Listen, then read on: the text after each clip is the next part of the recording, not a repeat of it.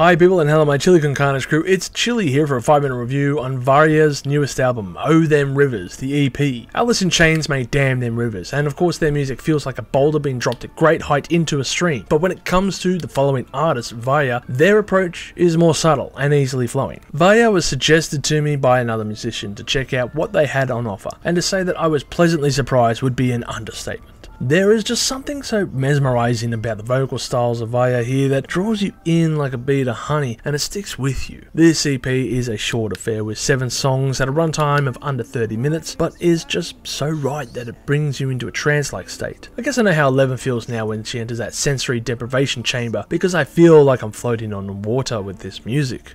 It was all about us, and now it's gone. To believe in a.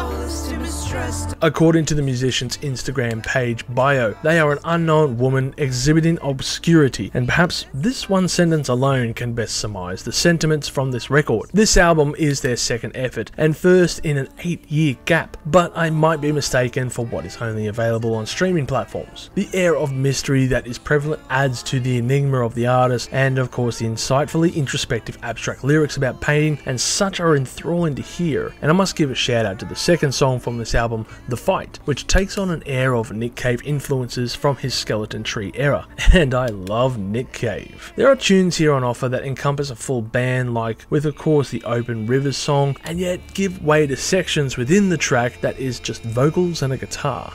And of course they are flawlessly executed. It's a bit of a masterclass in songwriting. I'm not quite sure how to describe Varya's style of music. I mean, to be honest, it's not a style of music I often listen to, but they did tell me that their musical influence are from artists such as Radiohead, Agnes Obel, and Emily Wells, Aurora, and Ayala Diana, to name a few. I'm probably mispronouncing a few, but this should give you an idea of their styles of music. So, if you are looking for a more laid back kind of record with some deep lyrics to dive into and dwell on, then oh, Oh Them Rivers might be just the album for you.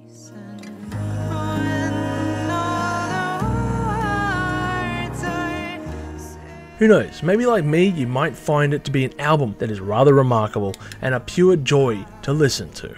Overall, I'll give this album a score of 7.5 million chilies on the spicy scale, with my favourite tracks being Fears, The Fight, and Oh Them Rivers. Somber music for the soul is perhaps the best way I can describe this record. While the journey is a short one, it is of course still an enjoyable effort by the musician, and I can't highly stress the fact that you really need to go out and listen to her and get a real feel for her music. Here's to hoping that the next record doesn't have an 8 year gap. Thank you for checking out this episode of 5 Minute Reviews. If you've enjoyed it, make sure to smash that like button, subscribe to us for future music related content, and as always, people, you have a great day and stay spicy. Thank you for tuning in to this episode of Live Listen Erased. And if you have enjoyed this episode, make sure you share it with all your friends. Don't forget to subscribe to our Chili Con Carnage crew so you can get notified for all the future videos that we put out, as we put out videos every Friday. Also, we are on Discord, Facebook, Instagram, and Twitter over at Live Listen Erased, so make sure to tune in over there.